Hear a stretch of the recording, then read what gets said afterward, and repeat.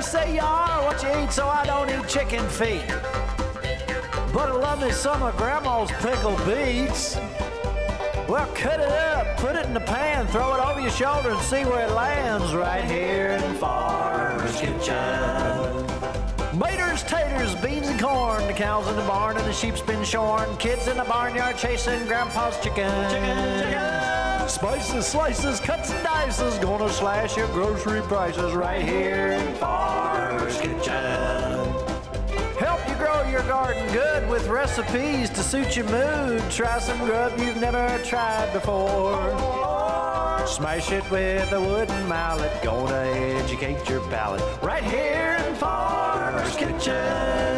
In Tim Farmer's Country Kitchen. Cook something good now. Hello and welcome to Tim Farmer's Country Kitchen.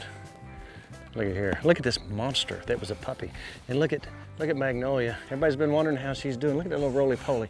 They have gotten along fantastically, thank goodness. And you know what? These, he is really doing his job. Now, I noticed the other day, I try to watch them when they're not looking at me, and a possum was out here. Now, if he could have got a hold of that possum, that'd have been one pitiful possum. Now, she's not quite ready to fight anybody yet. Now, the girls, if you look right over here, I, I noticed that Mavis, she's the dark one, is getting really heavy, especially on one side. And the really light colored one, Milkweed, she seems to be pretty heavy. Not sure about Myrtle yet, but I'm hoping that we have some babies coming this spring. And other things that happen that you can't really have any control over is our trees, our ash population has really been absolutely destroyed by the emerald ash borer. Now, we also know that it's Valentine's Day. So Nikki and I have been here lately, we've been surprising each other. If she makes the main dish, I make the dessert or vice versa. Well, I'm making the main dish tonight. Now, when you think about romantic Valentine dinners, what do you think about? Well, everybody thinks about goat meat. Is that not your automatic response when it comes to a romantic Valentine dinner? Now you think I'm kidding, but goat meat is absolutely fantastic. Now recently we visited with Denise and Brian Martin at Martin Meadow Farms and we looked at their Boer goats, beautiful animals. The best meat in the world. I'm telling you what, it's so sweet and tender. Most of the world is eating goat now except for us. We gotta catch up. So that's gonna be Nikki's wonderful romantic Valentine dinner. We got some chops I don't know what she's cooking up, but we're getting ready to go cabin right now.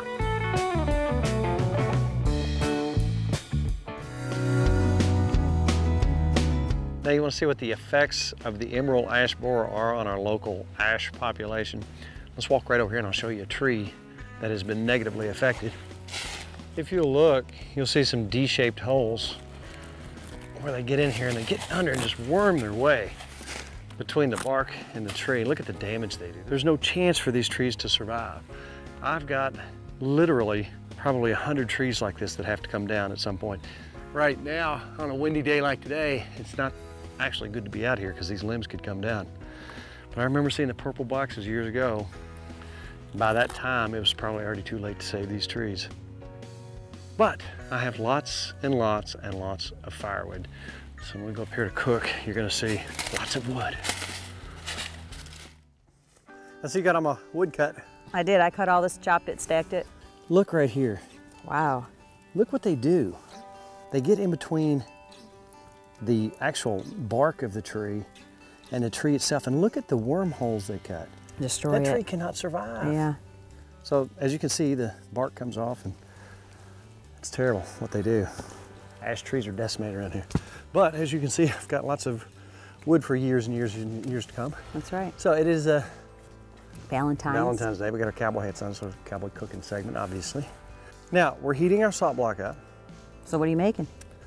What do you think if you had to guess? I don't know. You Well- gonna surprise me? We sat up here all day getting things ready. Now the wind's blowing, or the smoke's blowing right now. It makes me cry. I'm emotional. It's the love. onions and smoke. I'm feeling love. And you told me what to have ready, and I asked you to come up with a su- surprise. So if I'm fixing the main dish, you're gonna fix the dessert, and we do this on occasion. And you know, it's winter time. When spring comes around, we're gonna really get kind of away from the dessert, right? Yeah, right. Dessert's good. Everyone needs dessert. So you told me to have a pan heated up because you got to Right. boil some stuff, right? And remember, you can do anything outside that you can do inside. Just good common sense. Mm-hmm. Watch your temperature levels. You know, one of those little temperature guns, which I have inside, I'm going to get here in a minute, that it will really help out to keep your temperatures right. But I do see a bowl of cherries. Right. You see sugar over there too? Yeah. So what do we? You kind of give me an overview so you can tell me what we're doing here. Okay, I'll tell you how we start. I have. What what what is it? It's cherry Valentine's love surprise. Is that a yellow cake mix? Yeah. I see where you're going. you know, I, I'm. you like I stuff love like that. that. It's sweet. You're gonna like It's it. It's super sweet. Right. No calories. That's right. No except calories. the ones that are in the dish. It's cherries. It's fruit. There's fruit. Okay. All right. What I'm gonna do first is I have six cups of cherries that we're gonna pull into the pot. Sweetened cherries. Yes, they're sweetened, but I drained all the juice off and they were in a syrup, but I drained that off. And we're gonna put half a cup of sugar, one cup of water, and one cup of whatever your favorite bourbon is. And that's what we're gonna start We've with. got four roses. Is that your right favorite? One of your good ones. Now our butter is melting for your cherry Valentine delight. Mm-hmm, I like that name. You like that? Yeah. And then uh, we have our salt block. What's that for? What are you making? Well, that's for the side. Okay. I'm just gonna go ahead and tell you. Okay. You know how you like different meats. You know Mm-hmm. how you like the goat meat. I do love goat meat. Denise has brought us all kinds of stuff. Everything we've had has been delicious. Right. This is from Denise. Let me read you a few fun facts about goat meat. Okay. This is going to blow your mind. 75% of the world, 75% of the world eats goat meat. Really? It's lower in calories, lower in fat, lower in cholesterol than chicken or beef. Three ounces of goat has 122 calories. Three ounces of beef, 179. I still like my beef. I'm going to eat my beef, but on occasion, Sounds good. listen to this. Three ounces of chicken has 162 calories. So 122 versus 179, 162. It has one third of the fat of beef, only 0.79 grams of saturated fat. Uh, beef has 3 grams and chicken 1.7. Goat meat does not contain any growth hormones because the USDA has not approved their use. And I know about Martin Meadow Farms, they're doing everything wonderfully. They have nice, healthy critters out there. Right. Let me tell you what, I'm gonna take some chops. I'm gonna make a pesto, just add a fresh basil, fresh rosemary, a little bit of oregano, Yummy. a little bit of garlic. Mm-hmm. Mix that up, chop it up, and put that in some olive oil. That sounds good to me. I'll start my fire with ash, all this ash I have. I'll burn it down to ash, Mm-hmm. get some nice coals, and then I'll bring the hickory on for that savory, wonderful smell. Yeah. Then we'll put the goat right on top of that. You're getting close over here. Now yours is gonna take longer than mine. Right. So you've already got your butter almost melted, and you've got a yellow cake mix. I see where you're going That's here. all that's left. I Very have easy. no power against this. Okay. You'll There's eat nothing it. I can do. Now, 350 degrees for a 12 inch pan. What does that mean? How many on the bottom, how many on top, you know? I'm not sure. 17 on top, 8 on the bottom. I read my book. That's 350 degrees for a 12 inch pan.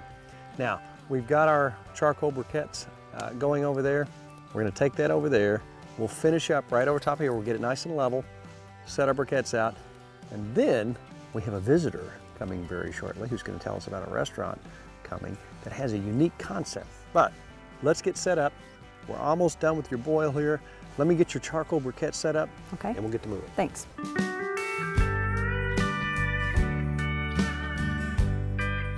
All right, on a windy day like today, these tend to burn down a little bit quicker. So you might want to beef it up just a bit and always check.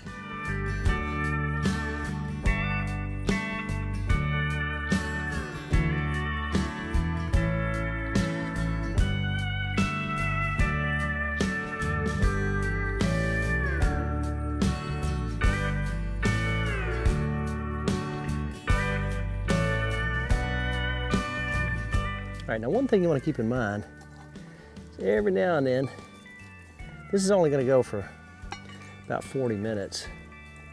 Pick that top up and just slightly turn it around. Make sure there's no hot spots. Ensure that you have a evenly cooked cherry Valentine delight. Nikki has moved because, as you know, smoke follows beauty, and it was just attacking her. It that avoided- is so sweet. It avoided me at all. It's Valentine's Day. I have to say that in a second. Okay. But the smoke was avoiding me at all costs, going right in her face. Exactly. That is What so can I sweet. say? It's Valentine's Day. Aw. You know what, Nikki? I'm kind of surprised. Usually, if it's Valentine's Day, I did see a heart on the door. I can tell Carolyn's been there. Yeah, she has. But I figured you'd have more stuff out. Well, don't you have to go check the dogs? Oh, so I have to go away. Yeah, you have to go away for a minute and I'll have everything ready for well, our nice dinner. right now I've got to watch our stuff. Okay. But I will go away in a minute because I do have to feed the dogs. But um, it's time for Shannon Nice girl. Danville. Now, if you remember we're a Mermaid's restaurant, I think they had one of the best steaks in the world. They did. They're not there anymore, but they're getting ready to open the doors here before long for a pay what you can type restaurant like John Bon Jovi has up north. That's nice. Let's talk to Shannon.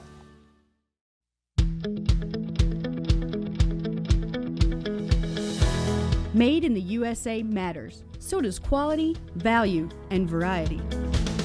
It's in every all-purpose galvanized steel tub and tank we make. Head over to tarterusa.com To find the closest retailer who sells our quality tanks and tubs.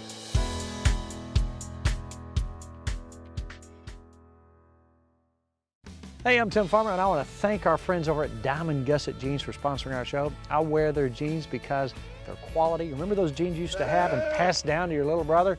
That's these kind of jeans. Comfort, value, 100% American made. Whether I'm on stage, on the farm, or out on the town, I'm wearing Diamond Gusset jeans.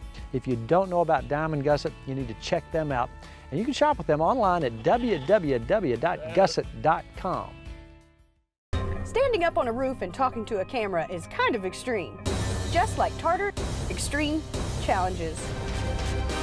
You got a back brace on, you've got you've got a neck brace, you've got a helmet. We just want to see how it hold up to the real extreme challenge. Well, here we go. Woo!